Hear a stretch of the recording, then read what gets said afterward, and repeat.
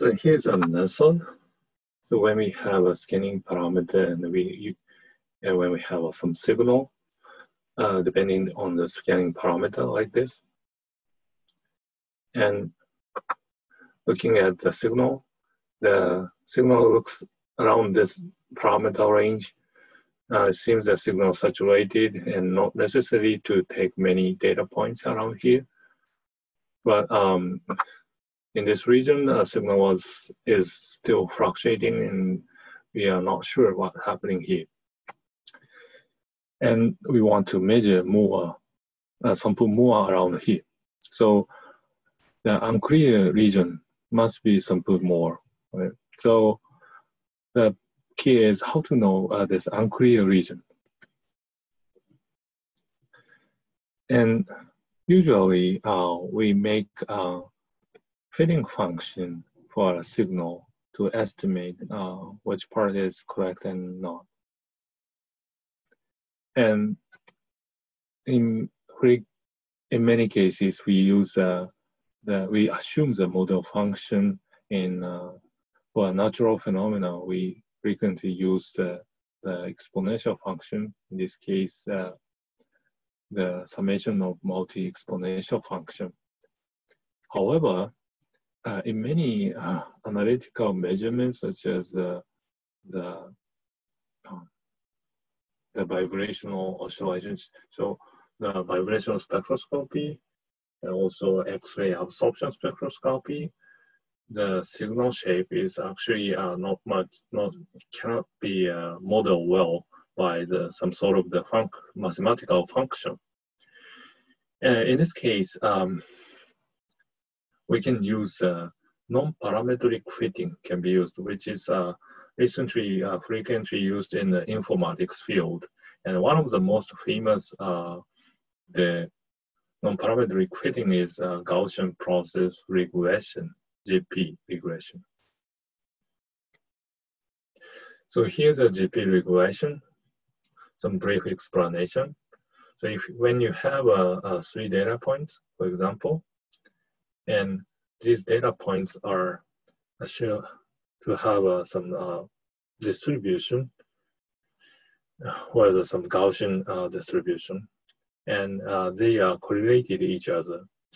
And to uh, describe these uh, this data distribution, we can use a multivariate Gauss Gaussian distribution, meaning that you have a multidimensional Gaussian distribution with uh, average value and also the covariant uh, matrix.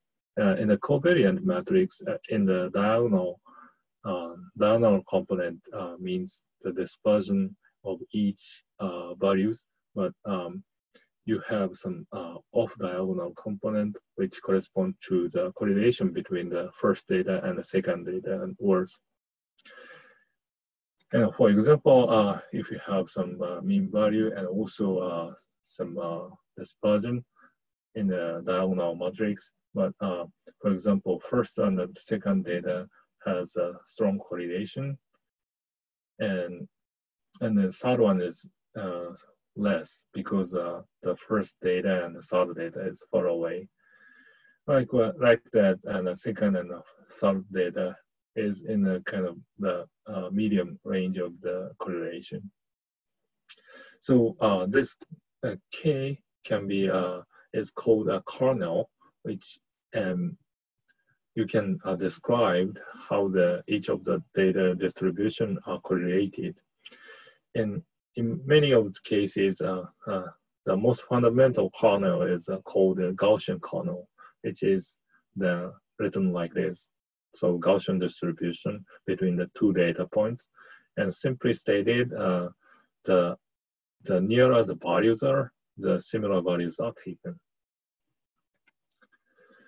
So by doing this, uh, looking at the signal, now uh, you want to know the value at xe extra, and then in this case, you can make uh, some extra component of the to the the multivariate Gaussian distribution.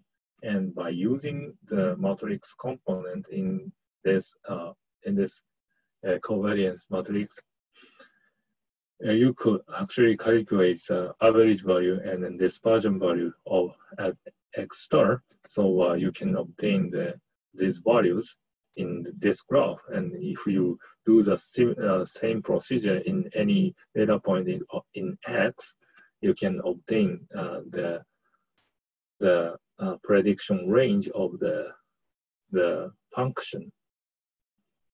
So meaning the good thing is uh, not only the average value, but also the estimation range can be uh, predicted by using uh, GP regression.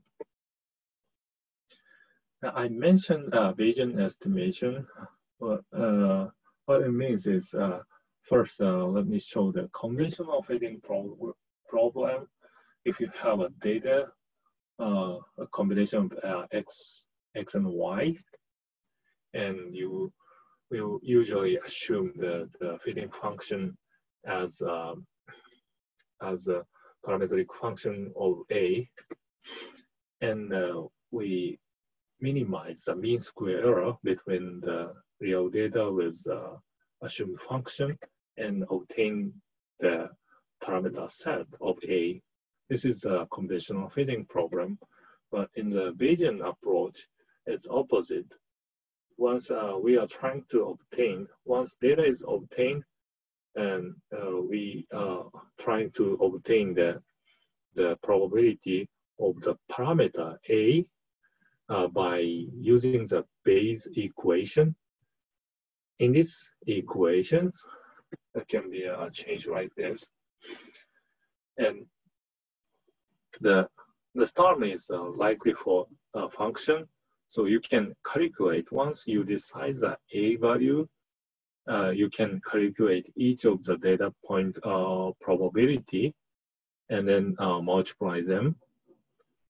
And then this one is just a normalization term, uh, the probability uh, when you can obtain the data. And the key point is this PA, and which is uh, sampled. So parameter A randomly sampled based on the probability function. And finally, if you calculate this value, you can obtain the, the output of the posterior, posterior, uh, the probability of A, so which gives the, the, uh, the most likely A value. Similarly, uh, this Bayesian approach is applied for uh, GP regression. In this case, uh, instead of A is sampled, we uh, directly sample the function itself because uh, GP only gives the the uh, uh, the function distribution. So uh, function is sampled, and then finally we could obtain the the most likely function by using the posterior probability. So in the case of uh, GP case, function is directly simple to find a function probability in a sense. So what we applied in this measurement is actually like this. First, uh, make a initial measurement. In this case, 10 data point was measured. Oh, by the way, this is a simulation case. And then, um, by using the GP uh, fitting, GP uh, some and GP estimation, we could estimate the the average value and also the range, and we find a parameter parameter a position where the the dispersion is very large, meaning the the signal is still not clear. And then repeat the second process, third process, fourth process many times, and gradually obtain the best estimation. So here's an uh, example here. So uh, every time we uh, obtain the signal and then estimate the uh, function, functional form, and gradually, uh, actually, uh, initially we don't see any kind of oscillation, but gradually we find some sort of the real uh, functional form. So uh, by using this efficient sampling, uh, we can uh, recover the real signal shape.